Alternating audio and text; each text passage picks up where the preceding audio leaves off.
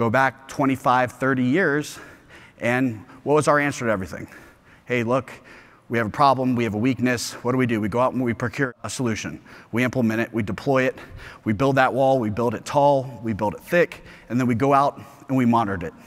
When someone goes around that wall, we get another tool, and we do the same process over and over again. What has that gotten us? Well, I can't wake up in the morning without seeing a brand new breach on TV. I can't go collect my mail out of my mailbox without a brand new letter saying, hey, maybe your information was exposed in a vulnerability we found, but don't worry, you get one free credit report a year.